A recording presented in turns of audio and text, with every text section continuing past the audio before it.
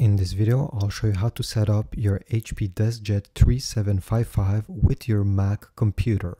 And I will also show you how to print and how to scan. So let's get started right away. All you have to do is to take two fingers and you're to press with on the Wi-Fi button here and on the X symbol here until the power button starts blinking. Once you see it blink, you can release those two buttons. So let me do it with you. I'm pressing both at the same time. And now the power button is blinking. I don't know if you can see. This means that the printer is now in pairing mode and we need to go on the Mac computer. On the Mac, you need to download the HP Smart app. If you do not know how to do it, you just need to go on the App Store. Every Mac has the App Store installed. And in the search here, you just have to type HP Smart. One of the first app should be this one, HP Smart for desktop and you need to download it.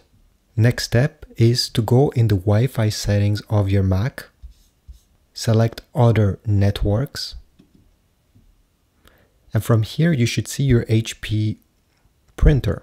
So mine is over here, HP Setup 90-Jet 3700 series. Tap on it.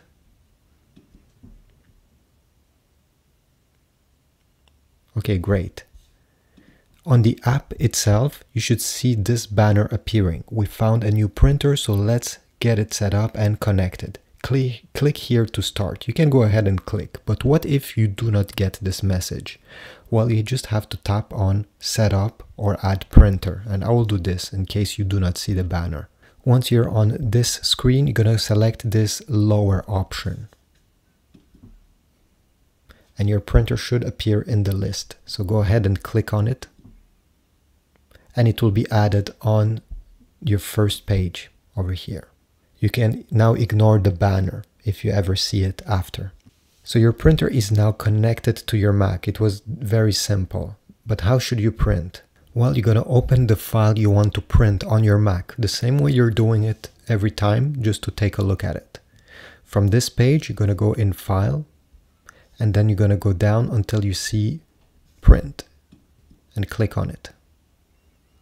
Here, the first option, you should select your HP printer, HP DeskJet 3700 series. Then you will have a few options. You can select if you want your print to be in black and white, how many copies, the usual stuff. One thing that is very important is you see where it says preview over here and select media and quality. If you're going to print pictures on glossy paper, you absolutely need to go over here and select photo glossy paper. If you do not do this, your picture will smear, the ink will smear, because the printer won't know that you want to print on glossy paper.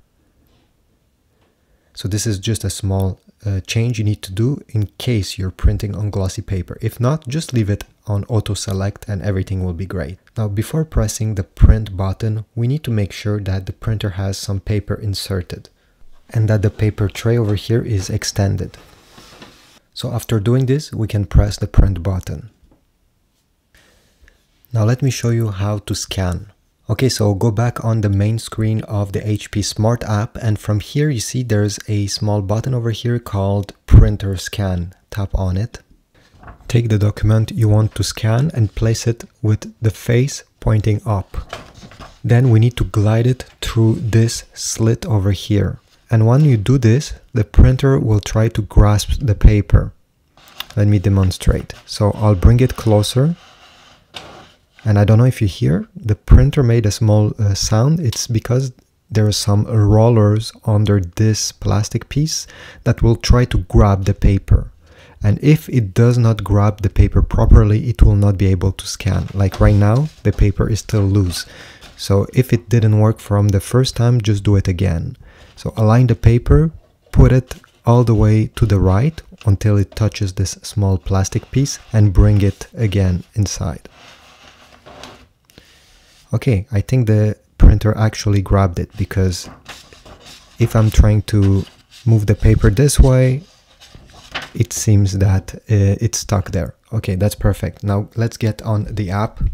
Now before pressing scan, you can actually modify some settings. If you go up over here, you can change the page size in case you're not scanning some letter size paper. You can change the resolution. You can change the resolution and the color if you want a black and white or color scan. And when you're done, just press scan.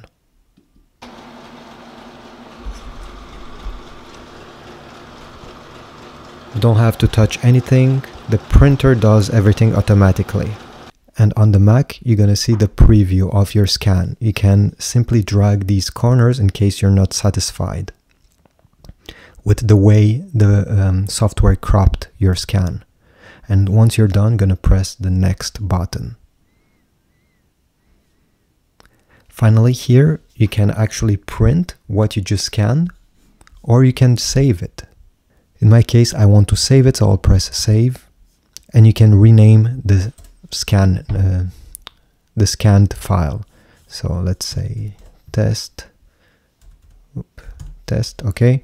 And now we can select also which kind of file we want. So for text I guess you're gonna select PDF and it's by default selected PDF if you're scanning some artwork some pictures you're better go with JPEG. The other one are a bit less used then you can select the file size and I just uh, leave it to actual. You can make the file smaller in case you want to send it by email and the file is too big, but it's rarely the case with these scans.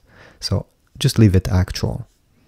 Finally, press continue and you'll be directed on the Finder window over here where you can save it in the folder that you prefer on your Mac computer. Just press save and you're done. So I hope this tutorial was helpful. If so, please leave a like, subscribe, comment down below, and I'll see you in the next video.